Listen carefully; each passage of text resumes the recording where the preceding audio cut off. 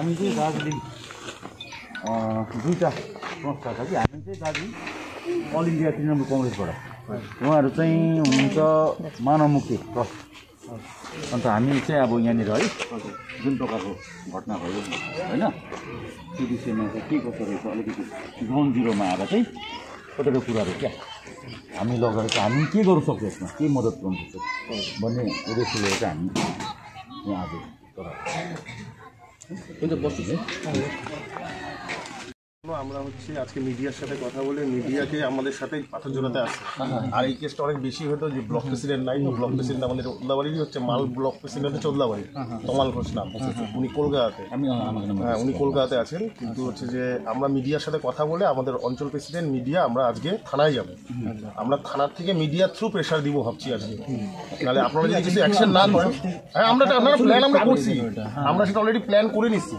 যে হচ্ছে আমরা মিডিয়াকে নিয়ে যাই প্রেশারটা দিব পলিটিক্যাল না এটা এটা স্ট্রং মানে আপনি না, না, আপনি একটু এনজিও সঙ্গে হ্যাঁ হ্যাঁ হ্যাঁ। মিলে কাজ করে সুবিধা হবে। হুম, আমরা ওইভাবে কথা এনজিও সঙ্গে মিলে একটু প্রেস দিয়ে মানে একটু মানে প্রেসার করে মানে এটা মানে হবে। হ্যাঁ আমরা ওই জন্য মিডিয়াকে আজকে মিডিয়াকে এখন পর্যন্ত উত্তরবঙ্গ সংবাদ হচ্ছে এটাকে খবর করে নাই।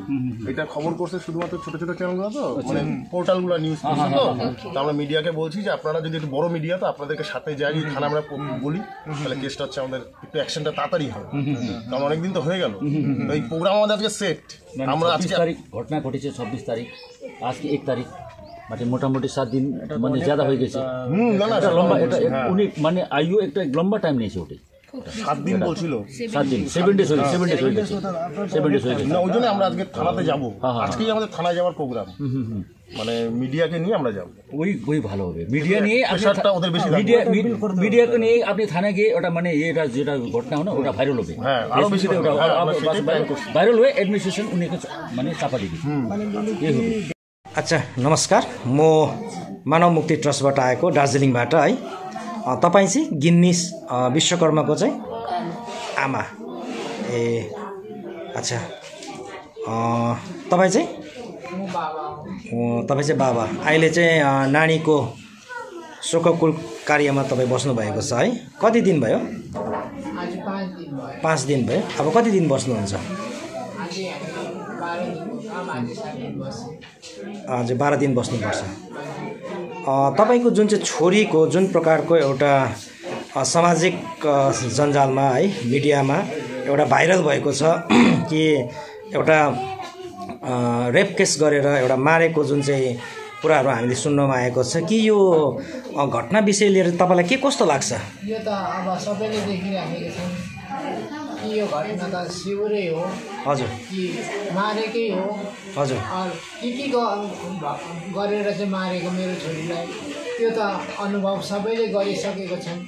र त्यो त अब सबैजना हामीभन्दा प्रशासनले पहिला पाएको हो। देखेकै होला उहाँ प्रशासनले खिचेर राखेर हामीलाई देखाएको थियो। जस्तो प्रकारको रेलवेको माथि देख्यौँ र उहाँको लुगा अलग्गै राखिदिएको देख्यौँ फोटोमा त्यो अनुभवले उहाँको जिउमा चोट लागेको अनुसारमा धेरै कष्ट झेलेको छ मेरो छोरीले यो त ग्याङ एकजनाले त होइन कतिजनाले कसरी कसरी के के गरेर मारे र यसको इन्साफ राम्ररी पाऊँ प्रशासनलाई पनि हामीले लेखेर दिएको छौँ प्रशासनले पनि सबैजनाले यो कुरोलाई देखेर बुझेर हामीलाई इन्साफ दिलाइदिउँ र न्याय हामी पाऊँ जो सत्य छ त्यही नै होस् विशेष तपाईँ अब गिन्नी नानीको आमा हुनुहुन्छ है। अब तपाईँमाथि एउटा ठुलो एउटा वज्रपात भएको छ जसमा चाहिँ आफ्नो एउटा आफूले जन्माएको एउटा छोरी जुन चाहिँ सत्र वर्षसम्म तपाईँले एउटा सुरक्षित राखेर उहाँको एउटा अब ज्यान गुमेको छ है। अनि तपाईँको छोरीमाथि तपाईँ जनतासँग के अपिल गर्न चाहनुहुन्छ?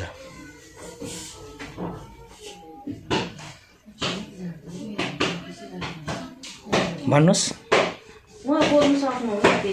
दिदी हाम्रो यो नानीको जुन विषय लिएर हामीले एउटा प्रिन्ट मिडियामा धेरै जान्नमा आयो है। तपाईँ यो नानीको विषय लिएर तपाईँ के भन्नु चाहनुहुन्छ? जनतासँग के अपिल गर्न चाहनुहुन्छ? अब नानीको विषय लिएर त हामीहरू के भन्नु? नानी यिनीहरूले दुःख गरेर अब त्यहाँसम्म पढाउँदै थिए हुर्काए पढाए दुःख गरेर अब स्कुल जान्थे स्कुल पढ्थे बिचरा मजदुर काम गरेर नि पढाइराखेको थिएँ। कति नाइनमा पढ्थेँ होइन? टेनमा योपालि टेनमा पुगेको थिएँ। आमा बिचरा गिटी कुटेर पनि छोराछोरीलाई पढाउँदै थिएँ। अब छोराछोरी त्यस्तो अब बिहामा गएको त्यस्तो हुन्छ भन्ने पनि थाहा थिएन। अब उनीहरू आए घरमा नानी छोडिराखेर यिनीहरू आए अब त्यस्तो घटना घट्यो। अब गाउँलेले त हामी के चाहन्छौँ र? हामीलाई त त्यही तपाईँहरू सबैजना मिलेर इन्साफ दिलाइदिनुहोस् त्यो नानीको आत्माले शान्ति पाओस् त्यति नै खोज्छौँ हामी। त्यो त अब आइकोबाट हाम्रो आइसीकोबाट बुझ्छ नि त। त्यो दिनको राति जतिवटा ट्रेन चल्यो सबै ड्राइभरले ड्राइभरलाई पनि बोलाएको छ। तपाईँहरू चाहिँ कहाँ बस्नुहुन्छ? यहाँ बस्नुहुन्छ। अँ, यहाँको जुन चाहिँ घटना भयो अँ, यसको विषयमा तपाईँहरू के भन्नु चाहनुहुन्छ? यो दुधको दुध पानीको पानी न्याय हुनुपर्छ। हामी न्याय नै चाहन्छौँ। किनभने अब यो बालाका नानी हो। सानोदेखि पढाएको यत्रो ठुलो भयो अस्ति अब यस्तो घटना भयो अब हामीलाई पनि थाहा थिएन। हामी त बिहाको दिन मात्रै आएको बिहाको भोलिपल्ट चाहिँ काममा सघाउने दिन चाहिँ मान्छेहरूलाई खाना बनाएर खिलाउँदाखेरि चाहिँ अब घरको मान्छे सबैजनै थियो। अब राति चाहिँ यो अब घटना अब यो साढे बाह्रदेखि एकको बिचमा होला यो घटना चाहिँ। बाह्र बजीसम्म चाहिँ बहिनी चाहिँ त्यहीँ थियो भनेर उसको दाजुले पनि भनेकै हो। यो नानीको चाहिँ मर्डरै भएको मर्डरै भएको है? हजुर मर्डरै भएको मर्डरै उसको भएको चाहिँ मर्डरै भएको न्याय चाहिँ हामीलाई चाहिन्छ हो। दुधको दुध पानीको पानी चाहिँ हो। अब छोरी त गयो एउटा छोरी त अब हामीले हरायो। आयतादेखि अरू चेलीबेटीसँग चाहिँ यस्तो नहोस् भनेर चाहिँ हामी चाहिँ सरकारसँग यही रिक्वेस्ट गर्छौँ। न्याय चाहिँ हामीले पाउनुपर्छ। तपाईँ फाँसीको सजाय हुनु पर्यो किनभने अब यत्रो एउटा नराम्रो तरिकाले मारेको छ है। अब नानीको अब लु ट्रेनले काट्यो भने नानीको लुगा पनि काटिन्छ नि त। नानीको लुगा त डल्लै त्यत्तिकै छ। हो अब उसको सबै अब मोबाइलमा तपाईँहरूले हेर्नु पा हेर् हेर्नुभयो भने तपाईँहरूलाई पनि थाहा हुन्छ। यो नानीलाई चाहिँ बहुत बेदर्दले मारेको छ तिनीहरूले। त यो बेदर्दहरूलाई चाहिँ एकदम निकाल्नै पर्छ। छोड्नु चाहिँ हुँदैन। एकदम छोड्नु हुँदैन चेलीबेटी त बाहिर निस्किनै डर भइसक्यो।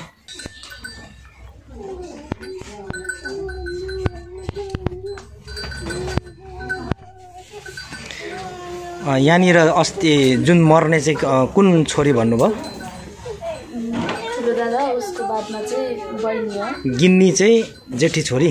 जेठी होइन। सानै दादा भन्दा अब। मतलब गिन्नी चाहिँ ठुलो छोरी? ठुलै छोरी भन्ने। ठुलो छोरी। उसको बादमा ठुलो उसको दाजु छ एउटा। त्यसको बादमा गिन्नी। बादमा उसको बहिनी। उसको बहिनी। उसको बहिनी कति एजको छ? तेह्र वर्ष। अन्त आमा र बाबाले के गर्नुहुन्छ? बगानमा तिमी चाहिँ? अब गिनीको चाहिँ काकाको छोरी। काकाको छोरी। के लाग्छ तिमीलाई? के लाग्छ यो गिन्नीलाई जुन प्रकारले मार्यो? के लाग्छ? मलाई लाग्छ अब सब मर्डरै होइन। मर्डरै। हजुर मर्डरै अब जति भयो मलाई लाग्छ मैले देखेको अब मलाई अब सबै त यो कुराहरू त्यो मैले फोटोहरू पनि हेरेँ होइन। मलाई लाग्छ मर्डरै हो। मर्डर हो? हजुर। अच्छा। अरू कसैले सा सपोर्ट दिँदैछ?